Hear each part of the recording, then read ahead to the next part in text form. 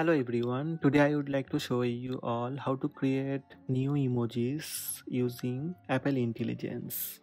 Let's have a look. First, open Messages app on your iPhone. Then compose a new message. You can choose a conversation or start a new one. Tap iMessage box. Then tap emoji icon on bottom left now tap the purplish emoji with plus button in the top right corner.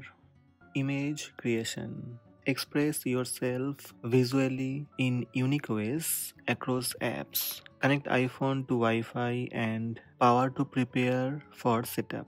Tap setup blue button.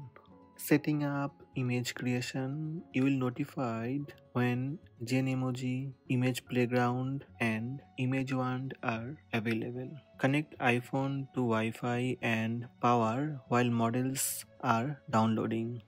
Tap done.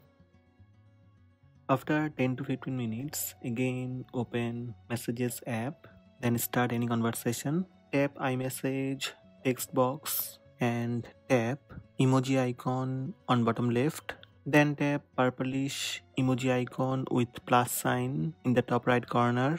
Start with a few words or phrase that best describe your idea. Now enter your description for your new Genmoji. Here i would like to create a new emoji like cat eating food. Swipe from right to left to see all the Genmoji variation based on your description. As you can change description to change emoji. When you're satisfied, tap on the emoji and send. If you would like to save this emoji, tap and hold on the emoji and tap add sticker.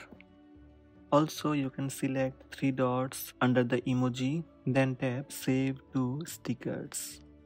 Or tap Add button when you have one you like.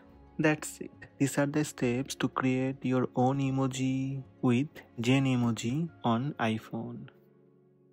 Hope this video help you. Please subscribe my channel by tap subscribe button. Also tap the bell icon to receive notifications about all new videos.